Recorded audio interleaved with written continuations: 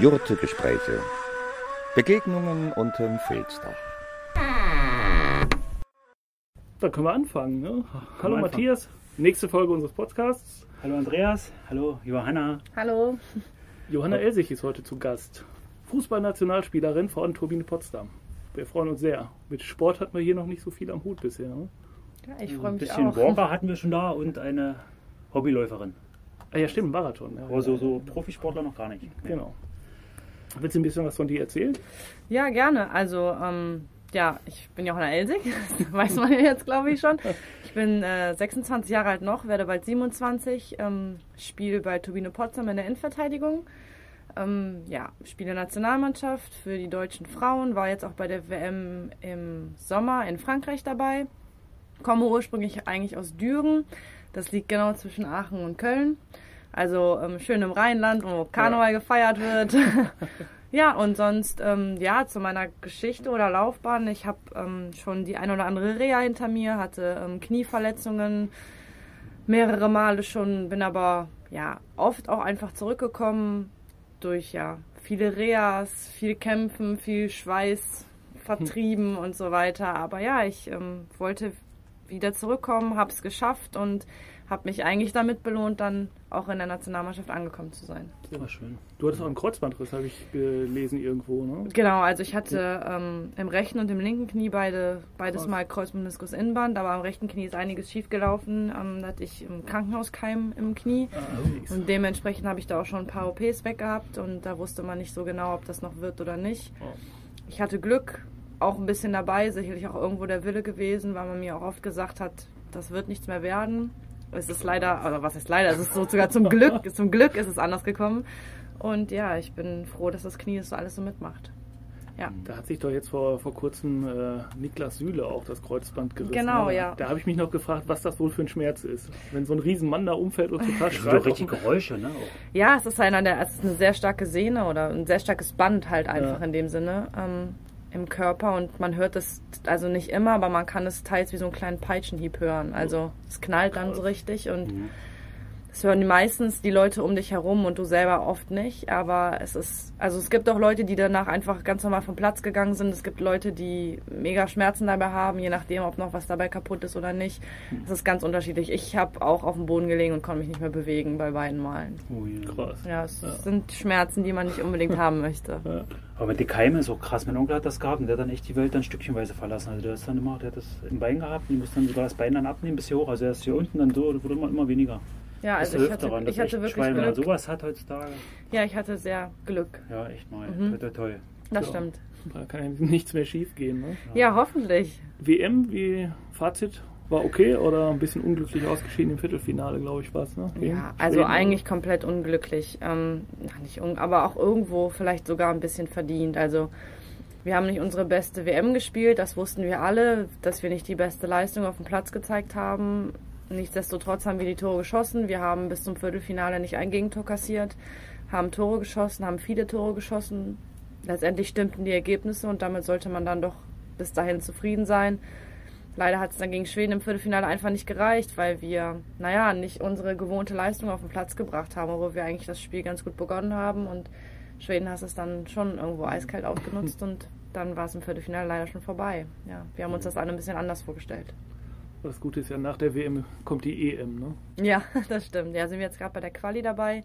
Haben die ersten vier Spiele gemacht, haben alle vier gewonnen. Ich glaube, wir haben 31 zu 0 Tore geschossen. Also sind jetzt auch nicht die Gegner, an denen wir uns messen, aber die Tore muss man auch erstmal schießen. Und ähm, ja, jetzt steht bald ein Länderspiel im Wembley-Stadion vor Ach, das ausverkauftem Haus. Ausverkauft, ja. ja Mensch, genau. Wahnsinn, so viele Leute. Richtig, ja. Frauen-Nationalspiel. Richtig, genau. Super. Größte Ja. Kulisse bisher für dich wahrscheinlich, ne? Ja, ja definitiv. Ja, Die also haben ich hoffe geschrieben, halt, die zweitgrößte Kulisse überhaupt, die man Ja, bei einem genau. Frauenspiel Richtig, also ich glaube bei einem WM-Finale, ich weiß gar nicht welches Jahr es war, ist ein, sind ein paar Leute mehr ins Stadion gekommen, aber das ist die zweitgrößte Kulisse, die überhaupt erreicht wurde im Frauenfußball. Ja, ich hoffe, ich bin dabei. Die Nominierungen stehen noch aus und dann schauen wir mal. Also Ja. es wäre auf jeden Fall ein Erlebnis, im Wembley-Stadion zu spielen. Ja, klar. Und bist du schon wieder fit, weil ich habe gelesen, du warst am, am Wochenende nicht in München. Genau, ich war überhaupt gegen Freiburg und München nicht gespielt. Ich bin ein bisschen angeschlagen von der Nationalmannschaft zurückgekommen. Habe Probleme mit der Achillessehne, probiere jetzt einfach mich so ein bisschen ranzutasten, in der Hoffnung, dass es halt ja, am Freitag geht. Mhm. Also ich kann eigentlich noch nicht so wirklich was sagen. Ich muss mal schauen, wie es dann ist, wenn ich wirklich auf dem Platz bin, wieder Fußballschuhe anhabe, einen Ball Mhm.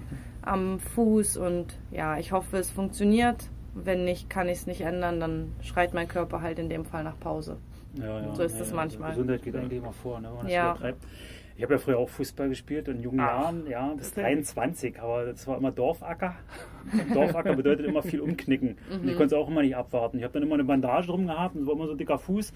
Und dann bist du eigentlich überstimuliert schon wieder, äh, nicht überstimuliert reingegangen, aber man hat nicht abgewartet, äh, oder ich habe nicht abgewartet, bis es ausgeheilt ist.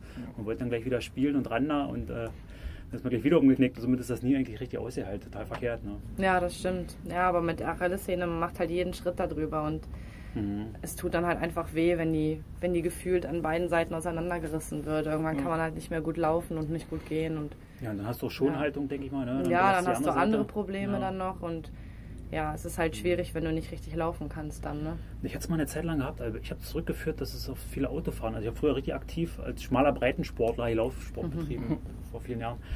Und äh, ich musste beruflich viel Auto fahren und ich habe das da aufgeschoben und mein Heilpraktiker auch, dass es dann eben aus der Lendenwirbelsäule irgendwie kam, weil darüber werden die Muskeln angesteuert und wenn du den ganzen Tag im Auto lungerst, dann bist du irgendwann so krumm, dann kannst du am Anfang sitzt du so gerade drin und irgendwann Ja. hockst du nur noch so da und dann ist das auch nicht gesund. Die konnten kaum mehr aussteigen und mir tat dann auch mal die Achillessehne weh. Ja. Das war echt krass. Ja, es ist nicht kein angenehmer Schmerz auf jeden Fall. Es ist ein Schmerz, den man bis zu einem gewissen Grad nach hinten schieben kann, aber irgendwann ist es auch vorbei. Ja. Ja, Und gerade auf äh, Leistungssportniveau ist das ja nochmal eine ganz andere Nummer, ne? das stimmt. Wo wir gerade von Gesundheit sprechen. Normalerweise trinken wir in unserem Podcast immer äh, einen griechischen Wein. Machen wir natürlich gesund. nicht heute. Ne? ähm, bei, Profis wird es noch was Gesundes. Nee, ich habe griechischen Bergtee mitgebracht. Ja, sehr gerne. Und ich habe den Samovar angefeuert, also bei mir gibt es den äh, Tee nicht äh, aus dem Strom, aus dem Stromwasserkocher, sondern aus dem Wasserkocher aus der Steppe. Also deswegen habe ich draußen den Samovar und der wird noch mit Feuer betrieben. Und das machen wir jetzt im Rahmen unserer Podcast-Reihe jetzt auch zum ersten Mal, dass wir den angezündet haben. Ja. Und da schaue ich mal, ob das Wasser kocht, dann kann man den nämlich schon aufgießen. Genau. Ja, gerne. Du hast vorhin schon gesagt, du trinkst gerne Tee, ne? Ja, ja, ich äh, oft zum Frühstück eigentlich Ah. trinke ich Tee. Ja, normalen Tee aus dem Supermarkt, aber ich Ja, trinke ja, Tee. ja, ja. Dieser griechische Bergtee ist ähm, in Griechenland ja so, so das Allheilmittel für alle möglichen Krankheiten oder auch einfach so, auch Okay. im Sommer als Eistee kalt getrunken und so. Mhm. Ein guter Freund von mir, der trinkt da täglich literweise von dem Zeug. Mhm. Äh, Das ist auch der, der Supersportler. Der ist letztes Jahr mit dem Fahrrad aus Griechenland, mit einem Holzfahrrad, von Griechenland bis zum Nordkap gefahren. Oh wow, das ist eine Strecke. Ich glaube nicht, dass ich darauf Lust hätte. Bin ich ganz ehrlich. Nicht schlecht. Und dieses Jahr ist er dann auf ähm, irgendwo im Himalaya Bergsteigen gegangen. Also das ist auch echt so Aber wunderschön, die Gegend da. Also wenn man Ja. sowas mal selber sieht, ist zwar anstrengend, aber es lohnt Mhm. sich. Ja, stimmt. glaub Ihr wart schon. ja jetzt ähm, bei der Ein EM. noch. Ah, der, der griechische Bergtee braucht noch ein bisschen. Ihr wart jetzt in Griechenland zum EM-Qualifikationsspiel, ne? Richtig, genau. Okay, in Ähm, Griechenland, äh, in Thessaloniki, glaube ich, war es, richtig, oder? genau. Haben wir in Thessaloniki gespielt. Haben da auch eine deutsche Schule vorher besucht. Es war eigentlich Ah, ganz schön. cool. Es ist ähm, ja eine Privatschule gewesen, wo sowohl deutsche als auch griechische Kinder drauf waren und die dann sowohl Deutsch als auch Griechisch Mhm. gelernt haben, je nachdem, welche Landsmann oder Frau du dann bist. Und es waren auch viele davon im Stadion. Es war eigentlich echt süß und haben sich auch mega gefreut, als wir in der Schule dann waren.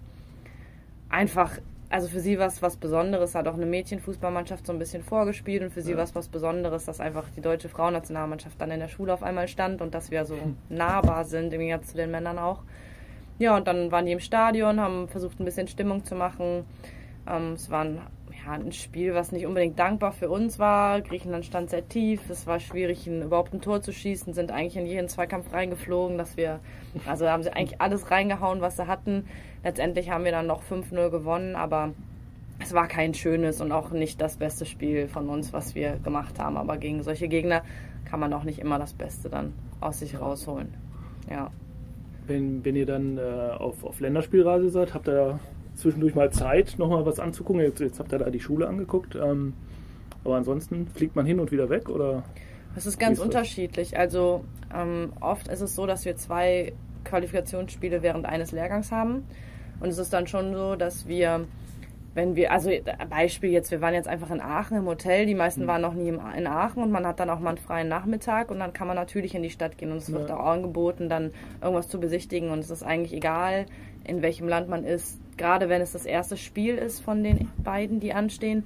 Beim zweiten Spiel hat man oft nicht so viel Zeit, wenn man dann auch oft dann den, die Reisestrapazen hat. Man fliegt in ein anderes Land, sonntags zum Beispiel, kommt dann abends an, trainiert montags nochmal, spielt dienstags wieder. Das ist dann schon etwas schwieriger, aber eigentlich wird immer versucht, dass wir auch ein bisschen die Städte oder ja gerade das angucken können, was für die Länder oder Städte typisch ist, ja. Mhm. Also eigentlich ist es schon interessant, so an welchen Fleckchen dann mal doch Ja. man schon mal war. Habt ihr von Thessaloniki noch was gesehen?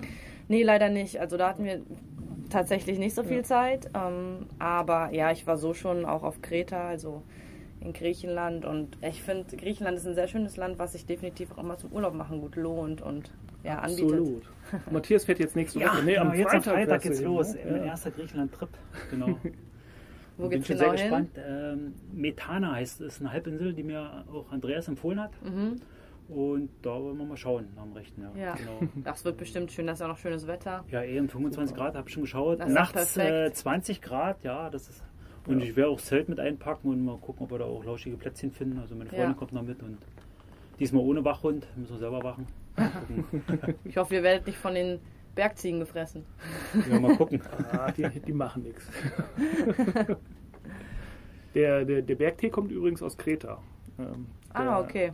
Mhm. Weil du ja schon mal da warst. Mhm. das, das meiste Zeug kommt äh, aus Kreta, weil das irgendwie ganz oben auf den Bergen wächst und Ja. also auch wild, wild wächst und wild geerntet wird. Ah, Mhm. okay. Mhm. Super gesund. Es gibt inzwischen auch, ich weiß nicht, ich glaube an der Uni Greifswald äh, gibt es Versuche gegen Demenz mit griechischem Bergtee. Mhm. Ah. Man hat wohl da irgendwie entdeckt, dass da der Wirkstoff möglicherweise den Durchbruch bringen könnte. Und das wäre auch Ja. auf jeden Fall ein riesiger. Fortschritt, ne? Ja. Weil Demenz ist jetzt keine Krankheit, die gerade selten vorkommt. Nee. Ja. Bei Ach, apropos, Menschen. eure, eure Nationaltrainerin ist ja jetzt Demenzbotschafterin geworden. Ne? Wirklich? Das Ja. wusste ich noch nicht. Hab Auch was gelernt. Ja, top aktuell äh, Ja. informiert. Ja, top aktuell. Nee, das Ja. wusste ich noch nicht. Genau, vom Bundesgesundheitsministerium. Die hatten irgendwie, machen jedes Jahr so eine, so eine große Aktion äh, rund um die Demenzwoche. Es gibt so eine Woche der Demenz. Ja. ja, da schließt sich der Kreis plötzlich wieder. Und Ja, die Märchenerzählerin, die auch jetzt am Freitag äh, äh, Märchen erzählen wird, Silvia Ladewig, die macht auch äh, Märchen ge- oder bei Demenzkranken, weil die sich an sowas auch wieder erinnern können. Ach, Das macht äh, das ist natürlich schön, die, die Das alten. Kindergeschichten äh, Ja, wieder. was von ne? früher, ne? Ja. Das ist halt nicht Krass. dieses Kurzzeitgedächtnis. Ja. und da wird das bisschen angetriggert und dann kommen die da auch wieder vielleicht. Das ist eine gute Sache zumindest. Mhm. Hört sich gut an. Sehr interessant. Also, sag mal, du kommst aus dem Rheinland, hast du ja gesagt. Ne? Zwischen Mhm. Aachen und Köln. Genau, genau dazu. Alemannia Aachen oder erster FC? Wenn, dann glaube ich der erste FC Köln. Jawohl. Nein, ich glaube, ich ist also meine ganze Familie ja. Sympathisiert eigentlich Köln. Bei mir ist es auch irgendwo so und ja, bin da halt irgendwie so ein bisschen mit groß geworden, Mhm. auch reingewachsen. Ja. Sagen wir es so. Ich war als Kind auch Köln-Fan sogar. Ich bin seit einigen Jahren ja sogar Litbarski Mitglied. gesammelt. Ne? Ja, genau. Da, damals zu der Zeit, als Litbarski gespielt hat. Da fing Mhm. es an. Meine erste Tüte Panini-Bilder, als wir mit den Freunden aus der Straße Panini-Tüten gekauft haben. Das allererste Bild war das Wappen vom FC.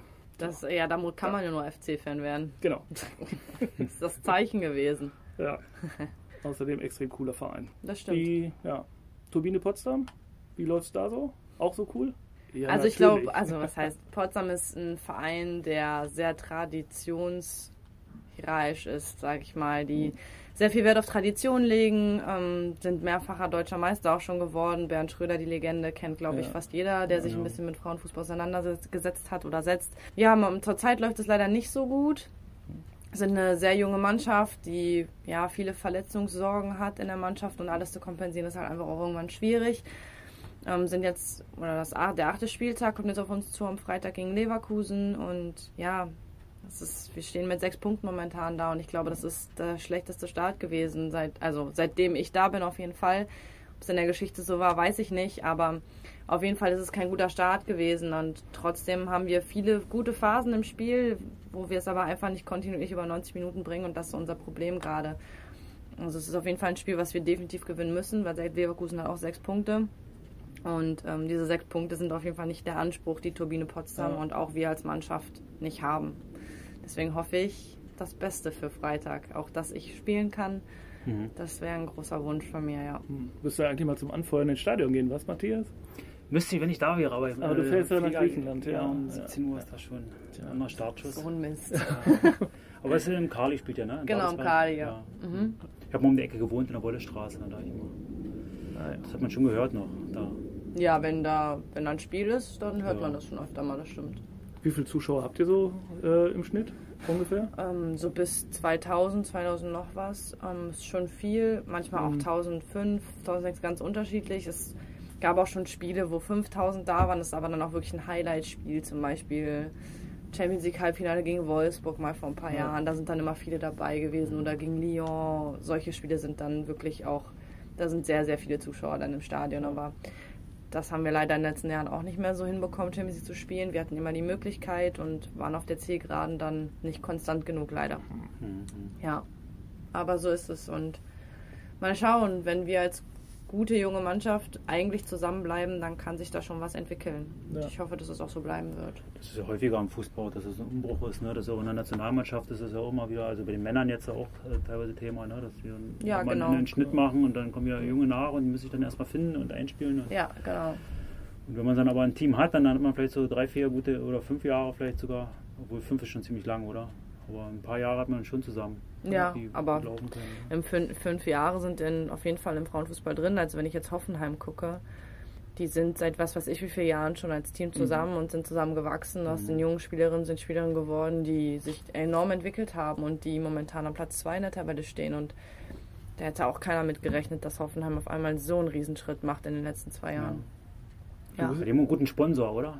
Ja gut, das ist halt von den Männern halt auch, aber der Trainer ist auch schon ewig da. Also es passt alles. Das ist alles so mit sich zusammengewachsen und ja, es läuft sehr gut bei denen zurzeit und ich hoffe, dass Turbine da auch wieder hinkommt. Mhm.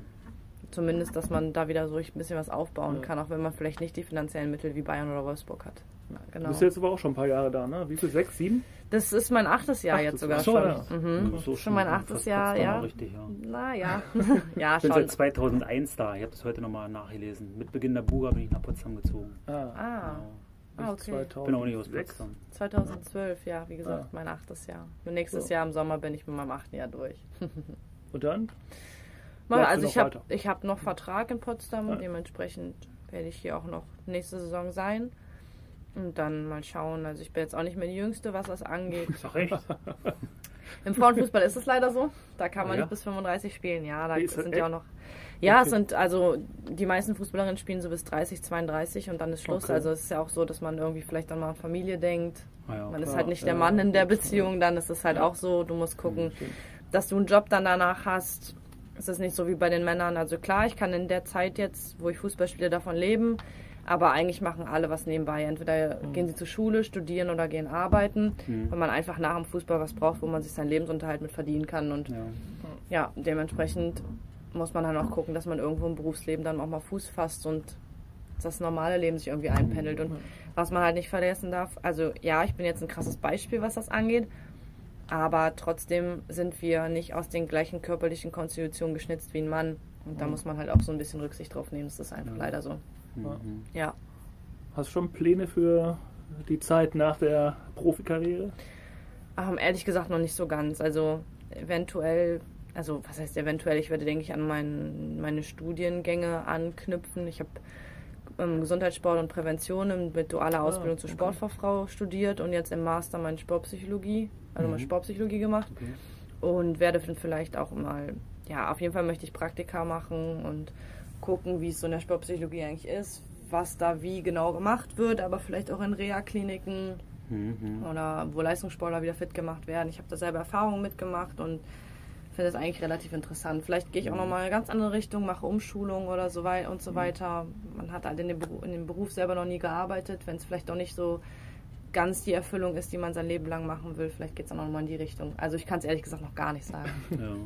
Und es ist eigentlich auch nie zu spät, mal umzuswitchen. Also ich mache jetzt, glaube ich, schon das dritte in meinem Leben. Ich habe mal was gelernt, dann habe ich was anderes gemacht und jetzt äh, bin ich auf immer hier, äh, mache ich Jurtenbusiness seit neun Jahren, weißt du. Also Ja. von daher ist es eigentlich äh, nie zu spät, dann da äh, zu sagen, man, man macht dann wieder was Neues, wenn es ähm, nicht mehr so, so Na die klar, Erfüllung ja. ist. Ja, mal schauen, was so kommt. Also mal gespannt. Ja. Und wie fühlst du dich in Potsdam wohl? Ich Sehr liebe die offenbar, Stadt, ne? ja. Ja. Also ich liebe die Stadt. Ähm, ich finde, man hat Berlin vor der Türe. Wenn man so ein Ja. bisschen High Life haben will, dann fährt man 20, 30 Minuten nach Berlin rein. Dann hast du äh, junge Leute, die was unternehmen wollen. Und Potsdam ist einfach eine, eine Stadt, wo viel Wasser drumherum ist, die gemütlich ist, die Kultur hat, schöne Bauten. Und ich finde, in Potsdam kann man sich eigentlich nur wohlfühlen. Also jeder, der mir sagt, er findet Potsdam nicht schön, also ich glaube, es ist mir bis jetzt auch noch nicht passiert, aber wenn mir das jemand sagen würde, könnte ich es nicht glauben, weil es definitiv nicht so ist. Und ich komme aus dem Rheinland, wenn ich das sage, dann muss das schon was heißen. Ja, also Auch wenn als jetzt nicht die nicht schönste, viel. ja, wenn Düren nicht Mir die ist es ja im Grunde immer noch zu flach, aber äh, das ist ja ein anderes Thema. Aber so ist schon, was du sagst, das, das kann ich auf alle Fälle äh, Ja, ziemlich zu. doch, auf jeden Fall. Der geht mir ja ähnlich. Also ich komme ursprünglich aus, dem- aus dem Ruhrgebiet, habe fünf, sechs Jahre im, im Rheinland gelebt auch. Mhm. Und ich finde es hier auch echt sehr, sehr geil. Doch, ja, auf jeden Fall. Ich finde es sehr, sehr schön in Potsdam. Mhm. Gefällt mir sehr gut. Ja. Auch die Kombi mit Berlin vor der Tür. Also, wie Ja, sagst, also wenn man wirklich super. was machen will Ja. mal oder mal ein bisschen Action haben will, dann fährt man mit dem Zug eine halbe Stunde Maximum und dann ist man mittendrin. Was machst du so in deiner Freizeit? Ähm, Habt ihr überhaupt Freizeit? Also es hält sich doch schon in Stunden Training Grenzen, am ist ja klar. Ja, also man hat schon viel Training und man hat ja auch an den Wochenenden die Spiele. Aber wenn man dann mal Freizeit hat, ist man entweder so, dass man sagt, boah, ich bleibe heute einfach mal den ganzen Tag Ja. auf der Couch und bewege mich nicht vom Fleck, was man ja eigentlich jeden Tag sonst macht. Aber es gibt auch Tage, wo man dann einfach mal nach Berlin abends fährt, in Bars geht oder Ja. auch über Tag einfach mal bei schönem Wetter in Berlin rumläuft, was anschaut, essen geht, halt so ganz normale Sachen, was Mhm. einfach jeder irgendwie auch macht. Ja. Ja, auf jeden Fall. Also nochmal eine andere Nummer als bei den, äh, bei den Männerfußballstars. Ja, also schon. Natürlich ist es, der Umfang ist ja auch ganz anders. Man kann das ja gar nicht richtig vergleichen. Mhm. Ähm, also, was heißt der Umfang? Ich glaube sogar, da, also ich glaube nicht, sondern teils ist es wirklich so, dass wir mehr trainieren. Aber wenn ich jetzt zum Beispiel Bayern München sehe, wie viele, ja, wie viele Reisen die haben, wie viele Spiele, die eigentlich so abstrampeln müssen, das ist bei den bei Bayern und Wolfsburg genauso irgendwo, weil die ja Champions League spielen, aber es ist schon doch nochmal was anderes. Und wenn ich jetzt ein Mann bin, der, naja, also ein Mann, der, der Fußball spielt und der eigentlich nicht auf die Straße gehen kann, weil ihn jeder kennt, wie ein Ja. Thomas Müller, da überlegt man sich schon zweimal, ob man dann in die Stadt fährt und sagt, will ich mir das jetzt nochmal antun oder halt nicht. Das passiert dir wahrscheinlich nicht. In Potsdam vielleicht gerade noch. ne, In Potsdam vielleicht manchmal, genau, aber das kann man halt nicht vergleichen. Ne? Die Ja. sprechen dich dann an und fragen, oh, wie war das Spiel oder wer war ja nicht so gut, aber die stehen jetzt nicht da in Massen und wollen Fotos mit dir machen. Also da Ja. bin ich auch irgendwo auch froh, dass es so ist. Ja. Ja, kann halt ein ganz normales Leben noch führen irgendwo. Ja. Ja. Ja, Thomas Müller müsste dann auch mal wechseln, war. ja gut, wenn du irgendwo hingehst, wo den nicht jeder kennt, dann ist es auch entspannter. Also so Ja, hat ja der. Schweinsteiger Ja, auch gemacht in Amerika, da, da ist das nicht so krass. Und unter Klinsmann war es ja damals auch so. Ja, das stimmt. Ja gut, aber wahrscheinlich so, solange man noch irgendwie auf Top-Niveau spielt, will man ja dann auch nicht unbedingt irgendwie in der chinesischen Liga kicken oder so. Ja gut, also ich glaube, wenn man, wenn die Karriere dann so langsam dem Ende entgegen Ja, sinkt, sag ich mal, dann kann man schon mal vielleicht den Schritt wagen oder man will vielleicht nochmal was anderes erleben und sagen, ich gehe jetzt nochmal in eine andere Liga, um einfach auch andere Erfahrungen zu machen. Oder man sagt halt, okay, andere Liga plus ich kann nochmal richtig gut Geld verdienen und äh, dann habe ich überhaupt gar keine Probleme. Wobei Männer, die in die chinesische Liga gehen, haben in der Regel vorher auch schon keine Geldprobleme, also davon abgesehen. Ja, aber es ist auf jeden Fall immer was, was man dann auch überlegt und wo man sagt, okay, ich habe jetzt noch zwei Jahre, ich spiele vielleicht wieder auf einem kompletten Top-Niveau, aber immer noch in einer sehr guten Liga. Wo habe ich vielleicht was, wo ich auch was sehen kann vom Land, was ich schön finde und wo ich dann auch vielleicht ein bisschen mehr Geld verdiene als in Deutschland. kannst du dir vorstellen, mal in, äh, in Griechenland zu spielen? Nein, ich glaube, das ist jetzt nicht unbedingt das Land, was ich, wenn, favorisieren würde. Also die griechische Liga, ich kenne mich jetzt nicht so aus, wie die Mannschaften in Griechenland sind, aber soweit ich weiß, spielt da auch keine Mannschaft äh, Champions League oder hat irgendwie Mannschaften, die wirklich auf Top-Niveau spielen in der Liga und dementsprechend würde das dann eher nicht für mich in Frage Ja, kommen. ja. Mhm. Matthias, mach mal da den, äh, den Teak fertig. Ja, genau. Ne, das ist eigentlich schon oft gegossen. schon- ach so, das ist habe ich schon gemacht. Da habe ich schon Ah, zum okay. Ziehen. Zum Ziehen. Wie lange Ja, muss der gut. ziehen? Hm, So ungefähr 10 Minuten. Oh, dann muss wir man noch ein bisschen. Ja, ja. Dann warten wir noch. ja. Dann warten wir noch. Ja. Habe ich eigentlich mal erzählt, wie, wie blitzartig meine Fußballkarriere zu Ende war? Erzähl mal. Als ich ähm, so zu Grundschulzeiten hatte ich einen, einen guten Freund, der war, ja, der war dann hinterher äh, ein ziemlich guter Torwart. Der war dann auch irgendwie äh, dritter U15 Nationaltorhüter mal irgendwie eine Zeit. Mhm. Spielte spielte bei Wattenscheid und ähm, der hatte mich so ein bisschen angefixt. Wir haben immer so auf dem Bolzplatz gegenüber gespielt. Und dann bin ich irgendwann mal zum Fußballverein um die Ecke gegangen. Kreisliga SV Zweckel Zweckeln. in Gladbeck. aber hört sich lustig an, der Name. Und so ungefähr nach einer Viertelstunde hat dann der Trainer zu mir, ich war damals so sieben oder acht, glaube ich, gesagt, nee, Andreas, ich glaube, du suchst dir lieber einen anderen Sport. Fußball ist nichts für dich. Sah vielleicht unkoordiniert Das aus. war's dann, ja, offenbar. Gibt Schlimmeres. Ja, Gibt ja, Schlimmeres. genau, ja. Definitiv. Wie bist du zum Fußball gekommen? Ich, ähm, ich habe zwei Geschwister, einmal Schwester und Bruder. Ähm, meine Schwester spielt Volleyball und mein Bruder Fußball. Und dadurch, dass du also Volleyball wirklich erst mit einem bestimmten Alter anfangen kannst, du sonst einfach zu klein bist, auch mit dem Netz Ja. und so weiter, ähm, war das Erste, was eigentlich so in den Sinn kam, Fußball. Ich war damals auch im Kinderwagen schon immer auf den Fußballplätzen dabei, auch in den Hallen bei meiner Schwester, ja.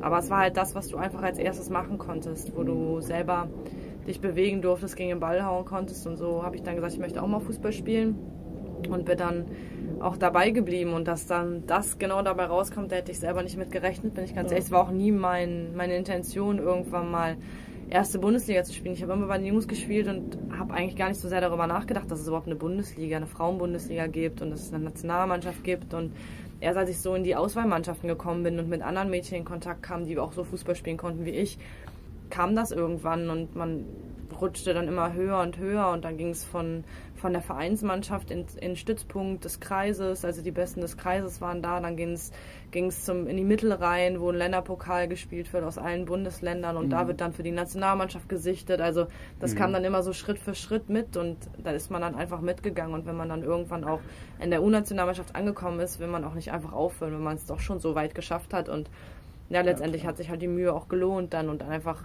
dran zu bleiben. Und es war sicherlich nicht immer alles einfach. Und ich weiß auch, wenn ich meine Familie nicht gehabt hätte, die mich auch wirklich oft nach Hennef zum, zum Mittelrhein gefahren hatten, wo wir immer eine Stunde hinfahren und was manchmal jeden Dienstag war.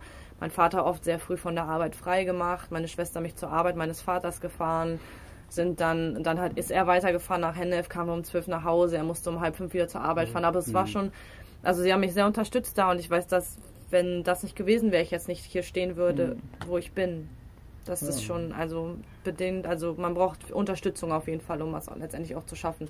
Sicher sind heute auch irgendwo andere Strukturen mit Abholdiensten, Sportinternate, ganz, ganz andere Strukturen hat man da, aber trotzdem braucht man schon die Unterstützung seiner Familie da. Also Ja. meiner Meinung nach. Das ist schon was Schönes, also das ist das Beste, was man haben kann. ne? Ja, definitiv. Ist das bei den Frauen auch so ausgeprägt denn schon ähm, mit Abholdiensten und sowas wie, wie bei den Männern? Also gerade als im ich- Jugendbereich stelle ich mir das schwierig vor. Na, aber also in Leverkusen ist es schon so, dass ähm, also damals in der ersten Mannschaft wurden auch Spielerinnen vom Training nach Hause gefahren. Das waren halt Spielerinnen, die auch noch äh, schulpflichtig waren. Ich wäre auch drunter gefallen, aber ich bin ja in eine WG mit einer, ja, die auch mittlerweile Nationalmannschaft spielt, gezogen und wir haben, sind auf Sportgymnasium äh, da gegangen und haben waren im Teilinternat, haben dann nachmittags da Hausaufgaben gemacht, haben auch Nachhilfe bekommen, wenn wir was verpasst haben durch, durch die ganzen Lehrgänge, durch die Reise, die man gemacht hat, haben da Mittagessen bekommen und dann hat sich das alles dann so relativiert und es gibt auch diese Abholdienste, aber es ist dann schon eher regional, dass die Mädels dann regional irgendwie herkommen und vielleicht nicht noch eine Stunde zum Training oder so fahren müssen, das ist eher seltener Hm. als bei den Jungs. So war es bei mir zumindest damals. Ob sich das jetzt so mega geändert hat, weiß ich nicht, aber kann ich mir ehrlich gesagt nicht so vorstellen.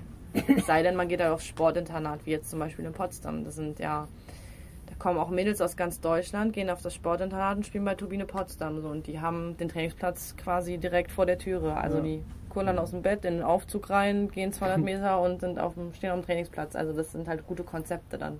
Ja, ja. Dann auch, wird mit der Schule Rücksicht genommen. Man kann das Abitur zum Beispiel strecken, weil man viele Stunden verpasst hat durch Lehrgänge, durch Auswärtsfahrten und so weiter. Also es ist alles gegeben.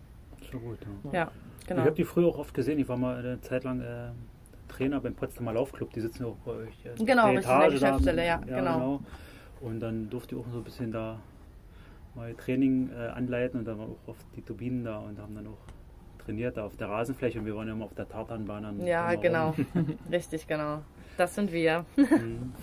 Ja. Sehr cool. Die, und ihr seid die, die die Bälle dann abbekommen. Sozusagen, ja. Jetzt mache ich es Ja. nicht mehr, schon eine Zeit lang nicht mehr, aber, aber anderthalb Jahre hatte ich mich doch versucht als, als, als Trainer. Mhm. Okay. So, jetzt können wir den Tee probieren, Ja, glaube ich. probieren wir das, ne? Gucken, wie der schmeckt. Aber Vorsicht, das ist ganz heiß. Oh ja, ich, ich sehe, es ist dampft ziemlich. Ja, ich habe gerade schon mal vorgekostet. Dankeschön. Aber der wird doch gar nicht so richtig dunkel, ne? Da Nee, nee, bleibt der eher hell. Oh, bleibt der ist aber echt heiß. Ja, Ja. ist echt heiß. Puh. Vorsicht. Er riecht gesund. Ja. Ein Freund vertreibt auch äh, äh, griechischen Bergtee mit seiner Heilpflanzenmanufaktur. Na ja. Den brauchen wir ja auch nicht verdünnen. Ne? Normal ist ja beim Samovar-Tee so, man Nö, nö, macht das- ja das vorwiegend schwarzen. Tee und dann macht man so einen ganz, ganz oberkräftigen Sud. Hm. Und diesen Sud äh, mixt man dann halt wieder mit dem heißen Wasser. Hier ist nur heißes Wasser drin. Okay. Und äh, man mixt das dann eigentlich immer mit dem Sachen. Hier ist dann ein Sieb drin. Jetzt ist Mhm. es da praktisch Ja, die, ja, die klar. Drin. Mm, Ja, der, der Klassiker. Und so kann man es dann Das immer ein bisschen ich, halt das hin ich. und her mixen. Meine Mutter auch zu Hause. Ja. Was läuft da eigentlich für ein Tier übers Dach? Nee, das ist das Laub. Hier drüben steht eine Ach, Eiche Laub. und jetzt Ah, kommt okay. das so nach und Ich nach. habe gerade die ganze Zeit gedacht, es tröpfelt. Ja, Aber Eicheln ja sind dies schön Jahr nicht, wir haben ganz wenig Eicheln dieses Jahr. Ja, nee, das Bombenwetter, also richtig schön nochmal. Ja, Im voll, Oktober. voll. Habt ihr irgendwie ähm, so, so ein Spezialgetränk eigentlich beim, bei den Spielen oder was ist in den Wasserflaschen? Oft halt wirklich Wasser, Wasser, ja. aber es sind, ist auch oft ähm, ja, so Mag Magnesium, Ah, okay. Solche Mix-Dinge halt Ja. drin, dass man halt so ein bisschen Elite kriegt und so weiter und dass man vielleicht nicht nur Wasser kriegt, trinkt, Mhm. sondern auch so ein bisschen was für den Stoffwechsel macht und dass man so ein bisschen mehr Kraft vielleicht auch hat, einfach was mit Geschmack. Ja. Aber mehr ist da eigentlich nicht drin. Ja. Kein Geheim, keine Geheimformel oder sowas. am Wochenende, wenn ihr Party machen dürft, was trinkst du da am liebsten? Was ich da am liebsten trinke? Moskau Mule. Ja. Ich fange mit einem Okay. Hugo an und ende bei Moskau Mule. Also alles, was dann letztendlich mit Wodka zu tun hat, trinke ich ganz gerne. Aber es sind auch so Mixgetränke. Ich mag zum Beispiel kein Bier oder Wein, das ist mir Ja. zu bitter. Ich brauche was Süßlicheres. Mhm. Mhm. Ja. Ich finde so ein Mixgetränk, wenn es so ist, dann trinke ich eher so ein White Russian Fan. Ah, White Russian. Ja, wenn Ja, er ich- gut gemacht ist. Mhm. Äh, Ich habe, ähm, wir haben eine Bar in Potsdam, wo wir ganz gerne hingehen und da gibt es den Vinci's Wild Russian. Der ist so ein bisschen mit Erdbeerpüree drin. Das ist dann Ach noch so, ein Wodka-Erdbeerpüree. Das ist halt okay. ganz anders, nicht so wie der richtige Wild Russian Mhm. und der schmeckt mir dann auch immer ganz gut, wenn wir Mhm. vielleicht auch da manchmal sind. Genau. Welche war ist das? Äh, da Vinci heißt das. Ach, das, das gibt es tatsächlich noch. Ich war da vor ein paar Jahren mal. Ja, das ist ein Restaurant mit Bar dran und Ja. genau, da sind wir dann mal ganz gerne. Genau. Mit den Cool. Mädels. Ja. Nach dem Spiel. Ja, manchmal schon. Je nachdem, wie der Plan dann am nächsten Tag auch wieder aussieht. Aber nur nach den gewonnenen Spielen. Ne? Diese Saison war da noch nicht so viel. Oder wenn es desaströs ist, dann kann man ja auch mal gehen. Leider ja. Mal schauen. Ah ja, Vielleicht ist der ja. nächste Sieg dann ja Freitag dran. Also ich Na hoffe klar. es sehr, weil wir uns auch teils wirklich auch verdient haben und auch viel gegen uns dann lief. Mit Elfmetern bekommen und Freistöße, die keine waren und so weiter. Ja. Aber natürlich auch, weil wir einfach schlecht gespielt haben. Muss man einfach sagen. Du scheinst aber auch schon so, so ein Optimist zu sein ein, eigentlich. Ne? Also irgendwie so auch zwei Kreuzbandrisse wegzustecken und so und zu sagen, es, ist, es wird schon wieder. Also sicherlich irgendwo schon. Es gibt doch, also ich bin auch nicht immer ein Optimist, aber Mhm. ich bin jemand, der immer unbedingt will und der seinen Mhm. Willen dann irgendwie durchsetzen will. Also Ja. es ist manchmal auch nicht immer vorteilhaft, aber Mhm. kann halt in solchen Situationen vorteilhaft sein. Und der halt nicht aufgibt und dann habe ich da so einen Willen und will unbedingt was erreichen oder das Ziel wieder erreichen und dann sage ich, okay, jetzt erst recht. So, das Ja. ist eigentlich so meine Einstellung und ich glaube, das ist auch so der Grund gewesen, warum ich da auf mich von diesen Kreuzbandrissen wieder erholt habe, von den ganzen Mhm. Operationen, die ich da hatte und so. Ja, ich Mhm. glaube, das ist schon so ein, der Hauptgrund. Auf jeden Fall. Das ging mir in sportlicher Hinsicht auch so und viel konnte ich jetzt auch in meine Selbstständigkeit drüber nehmen. Also, Mhm. früher so, so äh, aktiver Läufer war, sag ich mal, als schmaler Breitensportler. Ja, Da habe ich auch dann angefangen, Bergläufe zu machen, weil mir das im Flachland zu, zu langweilig war. Und das würde mir nie passieren. Niemals. Und das hat dann schon, war irgendwie eine andere Herausforderung und, und sich dann da hochzubeißen, also das war auch so ein Ding gewesen. Und, und, und das kann man doch natürlich in andere Bereiche des Lebens auch mit rübernehmen, ne? wenn man dann sagt, jetzt mache ich dann irgendwann eine, eine, einen Beruf oder, oder ich switch dann mal um. Und dann geht man auch anders durch Talsohlen so durch, weil man Ja. weiß, es gibt, geht immer mal wieder hoch. Und, und, und, und ich habe gelernt immer so ein bisschen, wenn ich merke, jetzt ist irgendwie ein Takt, der ist nicht so gut oder ein paar Tage vielleicht auch, kann es ja auch geben. Da versuche ich immer gewisserweise Schwung mitzunehmen, wie beim Radfahren. Wenn ich berg runterfahre, bremse ich ja nicht, Ja. bis ich im Tal bin, sondern wenn ich sehe, da drüben geht es wieder hoch, dann versuche ich noch mal ein bisschen Gas zu geben. Ja, aber so- auch. Und so ist dann mental, versuche ich mich dann auch so ein bisschen so einzurichten. Dann versuche ein bisschen mich zu pflegen und so, was Gutes zu tun und dann ist das auch schon eigentlich Ja. wieder, kommt man schnell wieder aus dem Loch raus und so denke ich auch, das ist ja. Ja, ich habe halt oft auch gehört, dass Leistungssportler eigentlich im beruflichen Leben auch ganz gerne eingestellt werden, beziehungsweise solche Leute man gerne im Team hat, weil die halt so ein Durchhaltevermögen haben und so einen Willen halt was zu schaffen, weil man Mhm. das im Sport halt einfach braucht. Und aber apropos Bergläufe, da habe ich auch eine ganz lustige, was lustige Story, aber ich werde das nie vergessen, haben wir mit der Mannschaft Krafttraining gehabt und mussten danach aber noch Läufe machen, aber wir wussten alle nicht so, was uns zukommt. Und es war die erste Saison mit Matthias Rudolph, mit unserem Trainer, nach Bernd Schröder. Und wir haben dann zwei Gruppen im Krafttraining gehabt und die erste Gruppe war dann fertig und ist dann natürlich in Babelsberger Park gegangen, mussten halt laufen. Dann hat er uns die Laufstrecke gesagt. Und im Babelsberger Park geht es ähm, so einen Berg hoch eigentlich und es geht aber eher so wie so ein Schneckenhäuschen, bis man dann irgendwann oben auf, dem, auf der Spitze steht und sind dann das erste Mal zur Probe diesen, dieses, dieses, diese Strecke abgelaufen und haben dann gedacht, boah, war aber schon der erste, oder? Weil es so anstrengend war und wir haben uns alle, wir sind da hochgelaufen siebenmal. Ich, wir haben uns alle gefühlt wie kleine dicke Kinder, die nicht vom, vom Fleck kamen, weil die Oberschenkel so gebrannt haben und es einfach eine Quälerei war da hoch. Das ist was, was ich nie in meinem Leben verstehen werde, wie man gerne laufen gehen kann. Gerne laufen gehen kann oder auch, viel, wenn man Leichtathlet ist, 200er, 400er zu machen, 1000er, das würde ich in meinem Leben nicht tun, weil ich da keinen Spaß habe, weil es für mich einfach nur eine Quälerei ist, sowas zu machen. Ich finde das ganz schlimm. Also ich hasse es, wenn es, wenn es heißt, nö, Läufe. Aber Ich meine, das muss ja sein. Also du brauchst ja deine Ausdauer auch als Fußballer und du musst ja auch auf diese Strecken laufen können. Das ist ja dann Schnelligkeitsausdauer oder sonstiges oder Intervallläufe, aber du kommst da nicht drum rum. Aber wir hassen es alle wie die Pest und können es nicht verstehen. Wenn, also ich weiß nicht, was Leute daran finden, wenn man einfach so Schmerzen in den Beinen hat, dass man sich da irgendwie hochquält. Ja, wenn ich richtig unbeliebt machen willst, dann empfehle ich das Ganze rückwärts zu machen. Ja. Das zieht nochmal ganz anders. Boah, nee. Also ich finde ja Laufen sowieso langweilig. Ich hoffe, mein Trainer hört sich das nicht an. Dann kommt er vielleicht auf andere Gedanken. Ich habe das am Klausberg gemacht, da gibt es auch so eine Mini-Serpentine hoch, das ist ja bei, bei Sanxessy oben, in Palais in der Nähe, das ist Klausberg, das ist Belvedere da oben. Und ich habe in der Straße gewohnt, bei dir um die Ecke. Da gibt es auch so ein bisschen eine Schlängelinie nach oben und da bin ich immer rückwärts hochgelaufen und dann oben war es, da habe ich mich dann umgedreht und dann muss ich nochmal ganz paar schnelle Schritte machen. Ey, dann denkst du, du trittst ins Leere.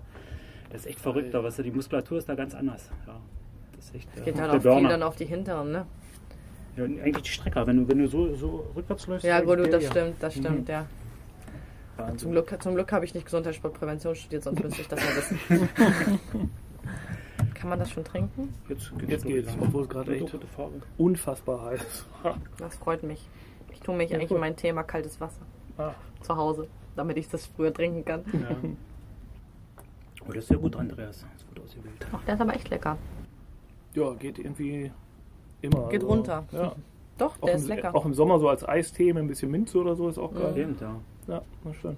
Habt ihr so Mentalvorbereitungen, äh, irgendwelche Rituale oder sowas? Ähm, also Sportpsychologie selber wird jetzt in Potsdam im Verein nicht angeboten, aber im Olympiastützpunkt kann man sowas schon in Angriff nehmen oder in beanspruchen, wenn man irgendwie ein Problem hat oder so. Aber sicherlich hat jeder auch ihre Rituale vorm Spiel, was man so macht. Also ich zum Beispiel ziehe mir immer zuerst den linken Stutzen an, dann den rechten Stutzen, Ach, echt? linken Schuh, rechten Schuh, linken Schienbeinschoner, rechten Schienbeinschoner. Also es ist immer mit links zuerst. Und dann hat man auch mal, ich habe auch auf jeden Fall immer so ein Ritual, halt, wenn ich, wenn wir dann wirklich Aufwärmen nochmal in die Kabine gehen, haben dann alles an, dann setze ich mich nochmal hin und gehe mir dann halt so ein paar, oder mir gehen so Spielsituationen dann durch und sag mir halt auch, was ich mir vornehme im Spiel, was mein Ziel ist. Das macht schon, das mache ich schon und da hat jeder irgendwie so ihre eigene Technik oder ihre eigenen Rituale, wie sie dann an so ein Spiel rangeht, gerade wenn es halt wirklich wichtige Spiele sind, wo es darauf ankommt, dass du wirklich auch deine Leistung bringen musst. Und schaust du dir dann auch Videos an von, von deinen Gegnerinnen? Musst du dann praktisch da auch.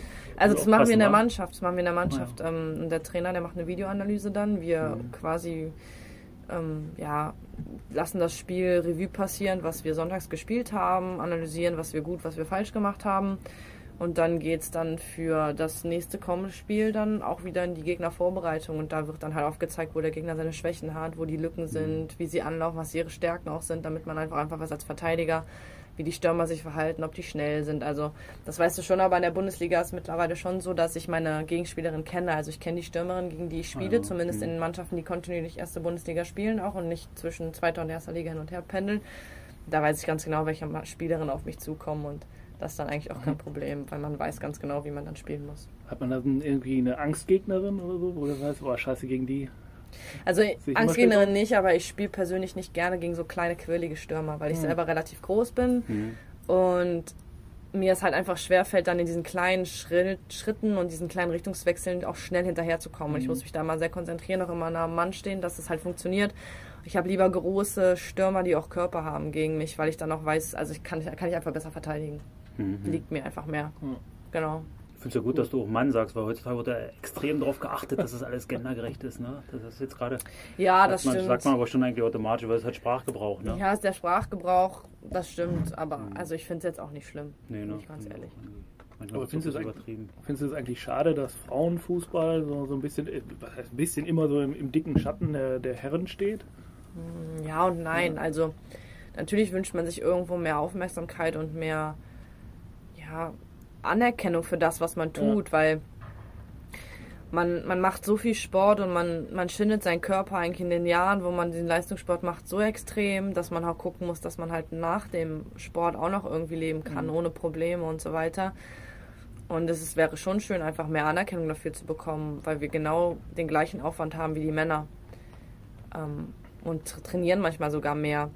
Und verdienen halt einfach das Hundertstel vielleicht davon. Ja. Also blöd gesagt ist es ja natürlich, also wirklich so. Und auf der anderen Seite ist es aber auch schön, weil man sein ganz normales Leben führen kann, was ich eben schon gesagt habe. Man kann ja dann auch einfach mal auf die Straße gehen und auch vielleicht mal shoppen gehen oder ins Kino oder keine Ahnung wohin, ohne dass man erkannt wird. Also es hat eigentlich so ein lachendes und ein weinendes Auge, würde ich fast sagen. Und trotzdem, also ich glaube sogar, dass ich froh bin, dass ich noch das machen kann, was ich will.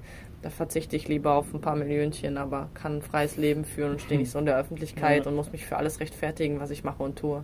Ja, das ist ein Vorteil. Genau. Eine Freundin von mir hat ähm, vor, vor einigen Jahren mal ein Frauenfußballmagazin äh, herausgegeben und, und war auch Chefredakteurin da. Ähm, weil sie dachte, dass das wäre so echt so eine Marktlücke, gibt es nicht. Ne? Ähm, Herren alles voll, elf Freunde, Kicker und so weiter, Sportbild, was es alles so gibt. Und, und sie fing dann mit ihrem, äh, wie hieß denn das Ding noch? Elf Ähm, Freundinnen?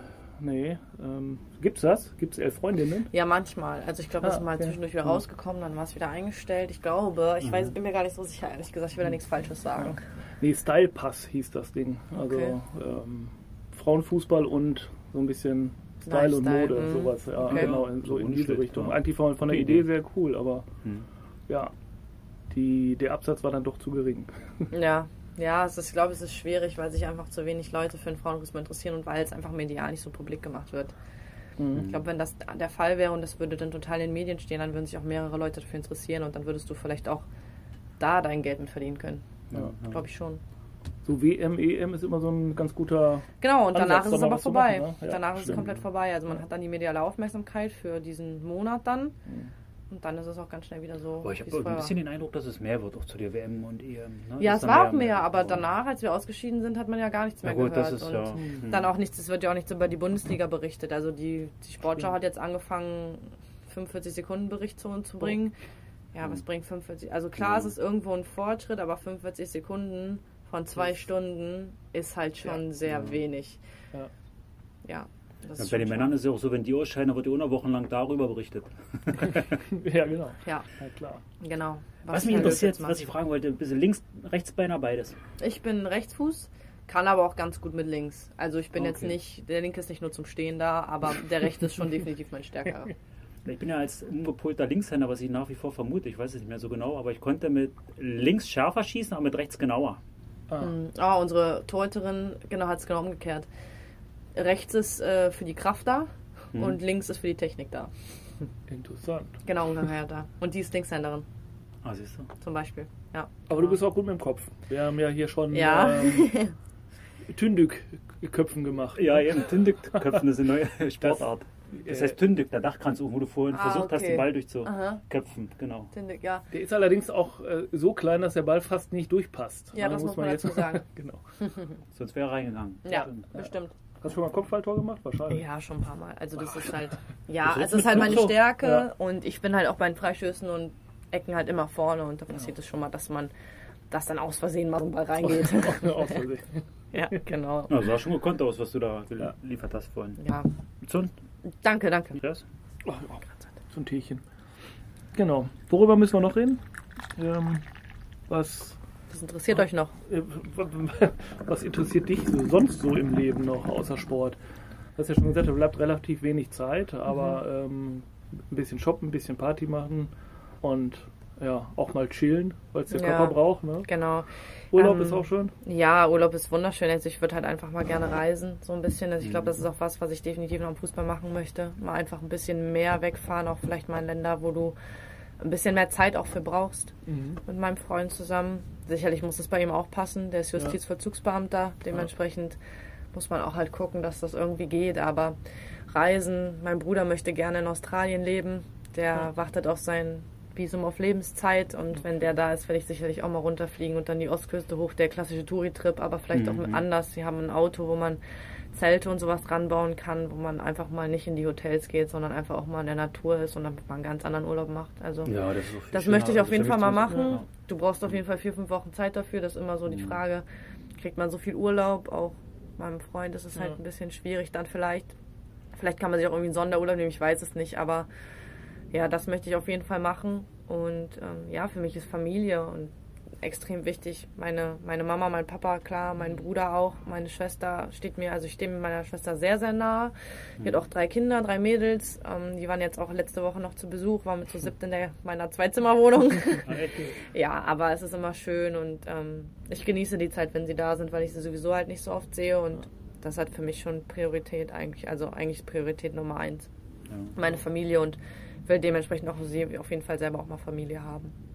Das Ja. sind eigentlich so die Sachen, die ich mal gerne machen möchte, wenn ich keinen Fußball mehr spiele. und weiter Sport machen, mal gucken. Ja. Vielleicht einfach auch mal hobbymäßig ein bisschen wieder Volleyball. Ich spiele super gerne Volleyball, Mhm. aber habe mich dann ja, also das ist ja der Fußball da Warst du schon in der. Beachvolleyballanlage vorne beim Sebastian? Ja, war ich schon. Ja, jetzt zieht er ja jetzt um, jetzt ist es heraus, dass das Ah, okay. bleiben darf im Park. Zieht nur an eine Ecke, Okay. also weiter vorhin äh, Richtung Süden. Okay. Im großen Wiesenpark wird er dann wohl sein ab nächstes Jahr. Aha. Da bin ich auch froh, dass es da weitergeht. Ja, so- doch, so macht auch Spaß, gewesen, ja. Beachvolleyball und so, sowas, so, so Aktivitäten, so Squash, so einfach Sport macht, es Mhm. macht Spaß. Vielleicht gehe ich auch tanzen, ich weiß es nicht, ich habe früher so ein bisschen Jazz-Dance, Hip-Hop getanzt, konnte es irgendwann auch nicht mehr machen mit dem Fußball und einfach so vielleicht die Wurzeln so ein bisschen aufgreifen wieder. Leichtathletik habe ich auch mal gemacht, aber Mhm. das würde ich auch nur machen, wenn es mir Spaß macht, so Weitsprung oder Hochsprung, will jetzt nicht unbedingt laufen. habe ich schon gesagt. Ja, schon so in die Richtung. Mal schauen. Auch irgendwie auch ein bisschen aufregend und ungewiss, was so kommt. Und es macht mich auch ein bisschen nervös, weil man es halt nicht planen kann. Ich bin eher so jemand gerne, der alles so geplant hat und auch weiß, was auf einen zukommt. Aber das kann man halt einfach nicht planen, weil man nie weiß, wie es weitergeht dann, ne? Gerade nach dem Fußball. Wenn man noch Ja. nie gearbeitet hat vorher. Ja, und Ja. Fußball Ja. ist aber auch sehr vielseitig geworden. Was ich gesehen habe, wie die jetzt also trainieren, also vorwiegend habe ich das bei den Männern gesehen, äh, man trainiert ja auch schon mehrere Sportarten eigentlich, was, was so. Ja, genau. Also So man macht, hat viel ne? Athletiktraining halt auch dabei. Ne? Du musst Ja. halt, Schnelligkeit ist mittlerweile das A und O. Wenn du nicht schnell genug bist, dann schaffst du es meistens nicht. Gerade bei den Männern ist es extrem. Wenn du keine vernünftige Grundschnelligkeit hast oder nicht überdurchschnittlich schnell bist.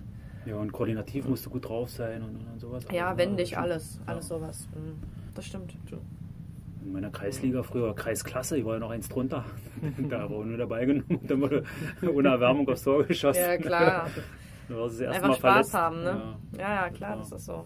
Und dreimal um den Platz laufen, das war dann schon weit. Das, ist- das ist dann mal ein halbes Leben später dann mal da weitere Distanzen mal laufe, das hätte ich auch nie gedacht. Das ist immer so eine Freude. Also für mich war es früher sehr, sehr entscheidend. So auch nach der Arbeit dann als Ausgleich war es ganz gut, eigentlich mal die, die Laufschuhe anzuziehen. War viel unterwegs mit dem Auto halt als Systemelektroniker. Und da bin ich deutschlandweit habe ich dann laufenderweise halt erkundigt. Das war das Einzige, was ich machen konnte. Ja, klar. Und dann kam ich halt zum Laufen. Meine Bekannte, die dieses Style Pass Magazin herausgegeben hat, ne? Mhm. Sagte, du, du musst unbedingt fragen, wie man als Fußballnationalspielerin zu dem Gehaltsgefüge steht. Also du hast ja schon anklingen lassen, das ist irgendwie so das, das Hundertfache bei den Männern und so. Ist man da ein bisschen neidisch? Irgendwo sicherlich schon. Aber ich glaube, wir im Frauenfußball dürfen uns eigentlich oder können uns nicht beschweren, weil wir in dem Moment, wo wir Fußball spielen, davon leben können. Aber, was heißt aber, nicht aber. Und wenn man jetzt in die anderen Sportarten geht, Leichtathletik, Schwimmen, Fechten, Handball auch. Welche? Frauen können davon unbedingt leben? Also das darf man halt nicht vergessen und dementsprechend geht es uns schon ganz gut. Da geht es anderen Sportarten viel schlechter, aber wenn man es mit den Männern vergleicht, kann man es, ist es natürlich ein Unding. Also Mhm. das muss man auch so sagen, aber ich bin einfach der Meinung, dass man die Gehälter der Männer runterschrauben kann. Ich, das ist meine Meinung. Hm. Viele, sicherlich nicht alle, aber viele können froh sein, dass sie so Fußball spielen können, wie sie Fußball spielen können, weil sie wahrscheinlich im beruflichen Leben Probleme hätten. Das sage ich einfach so, wie es ist. Da bin ich sehr ehrlich. Ja. Und da ziehe ich nicht alle bei den Kamm, aber es gibt schon einige, die froh sein können, dass sie so Fußball spielen können, wie sie es können. Bei den Frauen musst du halt auch ein bisschen was im Köpfchen haben. Du musst ja irgendwie Ja, danach noch was machen und du musst währenddessen auch einfach was machen und gucken, dass du das alles irgendwie unter einen Hut bekommst. Und das ist nicht leicht, wenn man Klausuren hat oder Arbeiten schreiben muss, Bachelor, Masterarbeit, Lernen. Es ist einfach echt stressig teils auf den Busfahrten, Auswärtsfahrten. Wir fliegen nicht, wir fahren mit dem Bus nach Freiburg. Das sind alles solche Sachen. Mhm. Mhm, Du bist ja auch müde, also ich kann das auch. Manchmal ich- nehme ich mir auch vor, wenn ich mit dem Zug fahre, ich möchte da jetzt was machen, aber letztendlich schlafe ich die ganze Zeit. Genau. Und wenn jemand Zeit hat, loszulassen von seinem Alltag und dann sitzt er am Ja. Zug und guckst aus dem Fenster, schläft man schnell ein. Genau so ist es so und es ist dann, es ist schon anstrengend und da wünscht man sich irgendwie dann schon mehr Anerkennung. Ja. Das auf jeden Fall. Hast du eigentlich einen persönlichen Sponsor? Also als Team habt ihr sicherlich oder hast du Ja, wir- als Spieler wir- auch jeder so seinen Ähm, Sponsor? ein man, wenn man Nationalmannschaft spielt, beziehungsweise Erfolg auch hat, wenn man äh, Glück hat oder sich ein bisschen clever anstellt, dann kriegt Ja. man es auch. Ich habe einen ähm, Adidas-Vertrag. Ich Ah ja, ähm, okay. wird von Adidas ausgestattet. Ähm, sicherlich, aber es ist auch keine Selbstverständlichkeit. Also gerade bei den Frauen, da ist Mhm. Nike. Nike haben sich, sind jetzt ein bisschen mehr gekommen. Die WM war ja auch in Frankreich. Die haben Nike als Sponsor, die haben ein bisschen mehr gemacht. Adidas ist eher so, dass die viele Männer nehmen, die Männer auf dem Top-Niveau, aber auch Frauen, sehr wenige Frauen, die auf dem Top-Niveau sind. Das sind nicht viele, das sind glaube ich vier oder fünf Spielerinnen. Und ja, aber ich bin sehr zufrieden damit. Also Mhm. ja, bin sehr froh, dass das so geklappt hat und ist für mich auch nicht selbstverständlich. Das ist ein kompletter Luxus, den man da hat. Und die kommt von allein auf dich zu oder hast du die da Nee, man, also sowohl als auch. Also bei einigen macht es der Berater, bei mir ist es durch die Nationalmannschaft entstanden, weil der Sponsor der Nationalmannschaft ja Adidas ist Mhm. und ich auch mit Adidas schon immer gespielt habe und so ist das dann entstanden. Oh, ja. Genau. Kann man Ja. sich dann die Farbe aussuchen der Schuhe? Man kann sich das Modell aussuchen. Die Farbe muss man dann tragen, wie sie dann halt kommt. Aber man kann sich das. Modell aussuchen, ja. Ist Genau. bei den Männern wahrscheinlich auch anders, ne? Da sind dann Nee, die, auch nicht. Also Nee. zum Beispiel David Alaba, der spielt ja auch äh, mit Adidas und der hat die ganze Zeit momentan pinke Schuhe an. Weiß ich, ob Ja, man das schon mal ja. gesehen hat. Ja, und ja, mit genau. diesem Modell spiele ich auch und da werden, wird, wird dann immer vierteljährlich eine neue Farbe rausgebracht und mit der neuen Farbe muss man halt spielen. Dann. Und ich habe gedacht, der hat sich die ausgesucht, Nee. weil er irgendwie so einen Mädchenfimmel hat oder Nee, so. nee, ich habe die gleichen Fußballschuhe wie er. Ja, und dann gibt es zum Beispiel den Copper, der ist gerade gelb, der Predator ist gerade blau. Das ist komplett Ah, unterschiedlich. Und die sind halt alle anders geschnitten. Deswegen muss Hm. man gucken, mit welchen Fußballschuhen man am besten zurechtkommt. Das ist eh bei Schuhen. Also, geht's ja also bei mir ging es auch weniger ums Aussehen. Ich hatte immer eigentlich für mich, Aber die bei Schuhe uns ich nie genommen. geht's schon, geht schon Ja. ums Aussehen auch, auch bei den Männern mittlerweile. Aber wenn wenn sie ganz drücken und nicht richtig gut liegen und, und, und, und Ja, das daneben, stimmt, dann- da guckst du dann schon drauf. Aber es geht auch um die Farbe irgendwo. Schon. Und äh, privat High Heels oder Sneaker? Sneaker. Definitiv Sneaker. Nee, ich, äh, Du bist eh schon groß genug. ja, ne? und ich finde es einfach auch so unbequem. Und ich komme mir immer so overdressed vor. Ja. Also da, sowas ziehe ich wirklich nur an, wenn ich mich so richtig, richtig schick machen muss. So für eine Hochzeit oder keine Ahnung was. Ansonsten bleiben die bei mir komplett im Schrank. Ich habe auch, glaube ich, noch ein oder zwei. Und ansonsten habe ich Sneaker oder Stiefeletten, sowas an. Das wird die Verletzungsgefahr für höher, wenn du von da oben runter knickst. Ja, und ich dann- glaube, meine Knie würden sich da auch bedanken, wenn ich das immer anziehen würde. Ja. Nee, nee, das möchte ich nicht. Ich bin die Sneaker-Tante. Die Sneaker. Die Sneaker, Tante. Äh, Spitznamen habt ihr alle, ne? Du bist Jojo, Ich glaube bin ich. die Jojo, ne? ja, genau. Aber schon immer. Das ist auch, glaube ich, ein typischer Spitzname von Johanna. Ja, ja. Und im Team, Team, die anderen Spielerinnen, haben die auch alle Spitznamen? Alle, oder? also ja, die meisten, es sei denn, man hat einen kurzen Namen. Also ich glaube, Anna kann man jetzt schlecht abkürzen, zum Beispiel. Aber zum Beispiel Vanessa Fischer, unsere Torhüterin, heißt Fischi. Also da nennt keiner Vanessa oder Vanni oder so. Oder Sarah kann man jetzt auch nicht unbedingt abkürzen, aber man hat schon dann seine, seine Spitznamen auf jeden Fall. Es sei denn, man hat wirklich einen kurzen Namen. Zum Beispiel ähm, unsere Polin, die hat einen Namen, die ist, der ist nicht auszusprechen. Da sagen wir einfach mal Goscha. Und die heißt Margol Jashata oder so. Ich kann es gar nicht aussprechen. Das tut mir auch leid, aber es geht nicht. Und ja. Genau, oder Rahel, da sagen wir Rage zu, ist ganz unterschiedlich. Ja. Matthias, hast du einen Spitznamen? Mal gehabt? Zur Ach, Schulzeit? mein Vater hat mich immer geärgert, indem er Matzi-Maus gesagt hat. Sonst sagen sie immer Matzi zu mir oder Matze oder jetzt sagen sie immer Joti, weil ich hier Ja. das Joten-Business Ja. halt mache und dann auch so irgendwie sagen sie alles und ich höre auch auf alles eigentlich, was man mir an den Kopf wirft sozusagen. Ja. ja. Cool. Und du? Andi oder? Bei Mein mir, Bruder hat äh, mal Andi gerufen, also, oder Micky. Andi finde ich, Micke, ja- ja Micke ganz schlimm. Mein ne? Bruder heißt auch. Andreas, der wird immer Andi genannt. Aber Andi ist doch schlimm, oder? ich finde es nicht schlimm. Nee, Nee, ich auch also nicht. ich finde es schlimm. Und irgendwann zu Schulzeiten habe ich dann wirklich einen, ähm, durch Zufall einen echt ja, seltsamen Spitznamen bekommen. Es war so ein super heißer Sommertag. Wir waren mit ein paar Freunden irgendwie unterwegs und haben Tischtennis gespielt. Oder zwei von denen wollten Tischtennis spielen und so ein bisschen Rundlauf bei 40 Grad und ich hatte echt keinen Bock. Und dann, sagte mein Kumpel Hack, äh, ja, Mann, jetzt beweg dich doch mal, nicht so wie so, wie so eine Schnecke hier. Und Hm, seitdem von heißt es Schnecke. da an hieß ich Schnecke oder später Schneckner. Ja. Ja. Aber es war zu Schulzeiten und das hat sich dann irgendwann so. Irgendwann war ich der Grieche, als ich anfing mit diesem ganzen Griechenland-Zeug. Ja. Mein Freund zum Beispiel hat eine etwas größere Zahnlücke, der wird immer Lücke genannt. Sei schon seit der lustig, klein, ja. seit der klein ist, er wird Lücke genannt. Also die meisten kennen ihn nur unter Lücke, die denken gar nicht, "Hä, wie heißt er denn nach Lücke? Hm. Zum Beispiel. Ja, Cool. Dann genau. sind wir ja so langsam am Ende, würde ich sagen. Ne? Ja, Dann können wir dir ähm, viel Erfolg wünschen. Dankeschön. Danke, dass ich hier sein Gute durfte. Besserung Das- noch. Bis Freitag, das klappt bestimmt. Hoffe ich, Genau, ja. und dann auch für Wir drücken die Daumen. Wembley dann auch. Ja, das wäre sehr schön. Das echt toll. Dann für die Drückt die EM. Daumen. Wann ist die? Nächstes Jahr? Im In zwei Jahren. die- in zwei Jahren. Zwei Zwei Jahre. Jahre, nächstes Jahr ist Olympia, wo wir uns ja nicht für qualifiziert haben. Ja. Ja, stimmt, ja. Hm. Ach, das Genau. ist ja noch dieses Rückspiel gegen die Griechen, ne? Die Griechen. die Griechinnen kommen nach kommen Deutschland, noch. Genau, ja. Wo spielt ihr? In, Weiß ich gar nicht. Das steht, also wissen wir. Ja. Da wollte ich ja vielleicht mal noch nie ein hingehen. Länderspiel, oder? hab's Nee, ich glaube, die wollten vielleicht mal eins nach Berlin holen. Aber Ja. mal gucken. Wäre schon cool. Vielleicht geht tatsächlich mal dahin. Ja, Ja, ja, kommt vorbei. ja, gute Gelegenheit. Ja, schön. Dann, wie hat es dir gefallen in der Jurte? Ähm, ja, neue Erfahrung. Ich wusste gar nicht, dass sowas im Burgerpark steht. Bin ich ganz Echt? Das ehrlich. schön, aber ja. ich finde es ganz cool. Jetzt ist natürlich ein bisschen warm geworden, weil ich das Dach zugemacht habe und der Ofen ist an. Vorhin war es ja ein bisschen frisch drin. Ja. Aber jetzt ist es schon fast so ein bisschen saunamäßig, finde ich. Ja, es ist auf jeden Fall ne? nicht kühl. Nee. Ja, Gut, na dann. Toi, toi, toi. danke. Toi, toi, toi. Kopfballtor und so. Vielen Dank. Ja, Dann gut. bis zum nächsten Mal. Bis dann.